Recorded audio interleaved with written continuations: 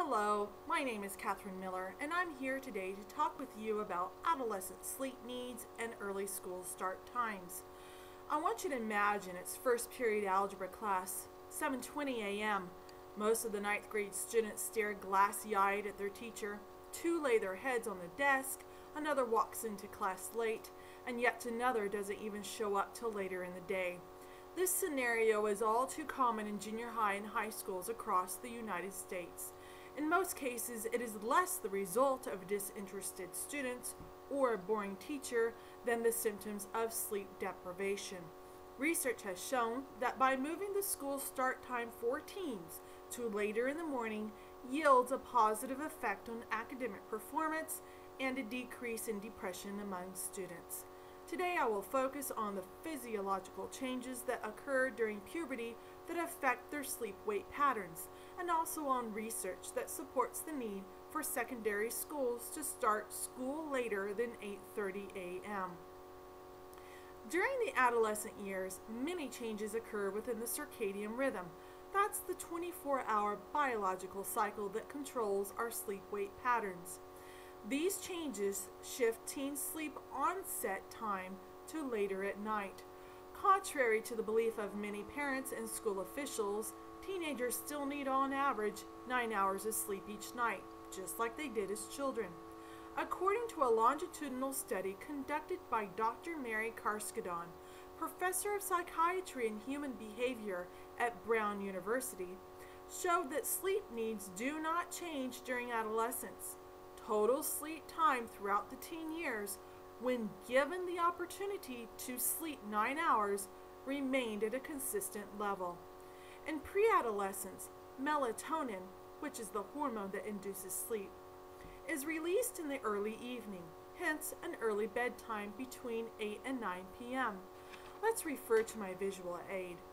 As children begin their journey into adolescence, the time of release of melatonin is pushed further into the evening between 11 and 12 p.m., thus pushing teenage bedtime to later at night.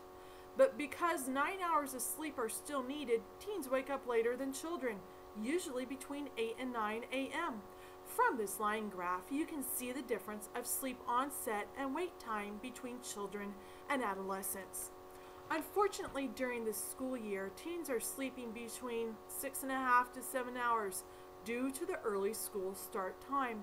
The physiological changes of sleep during puberty and early school start times result in sleep deprivation. Students who are sleep deprived have a decrease in academic performance and report an increase of depression. Improved understanding of adolescent sleep patterns has led some high schools to delay start times to better match students' sleep needs. One study conducted by Drs. Wahlstrom, Wrobel, and Kubow in 1998 involved 17 school districts in the Minneapolis, Minnesota area. They looked at the effect of later school start time on a wide set of variables, including student academic performance and student emotional behavior. Findings from the study showed that schools with later start times benefited in the following ways. Students reported being more alert in class. Teachers reported students getting higher grades and students reported fewer depressive symptoms. Other studies done in Massachusetts and in Minnesota have revealed the same findings. Students who started school earlier than 8.30 a.m. reported inadequate sleep and struggled to stay awake in school, more often than students who started later. Students who started school later reported sleeping an hour longer on school nights than those with early start times. This extra hour was due to the later rise times in the morning. There was no difference in their bedtimes. Research does show that by moving the school start time for teens to later in the morning yields a positive effect on academic performance and a decrease in depression. Having school start just one hour later can make a huge difference in teens' life because that can mean an hour of additional sleep with all the benefits that sleep provides. School administrators can help address the effects of sleep deprivation by examining a change in school start times to better conform to their students' sleep patterns and needs. Are there any more are there any questions? Yes. Why did you choose this particular topic? I chose this topic because of my own experience with my teenage daughter. When she transitioned from elementary to junior high school, the start times changed from 8:50 to 7:20 a.m.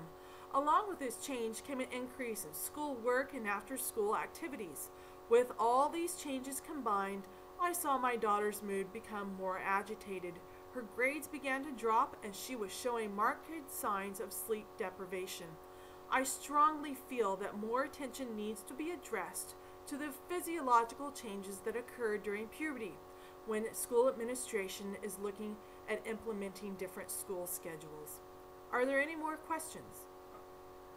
How come the federal government hasn't implemented a law requiring school districts across the nation to start school for adolescents no earlier than 8:30? Good question.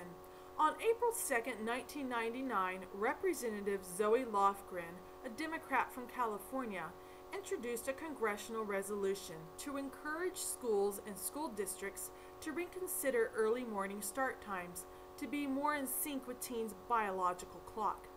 House Congressional Resolution 135, or the Z's to A's Act, would encourage individual schools and school districts all over the country to move school start times to no earlier than 8:30 a.m.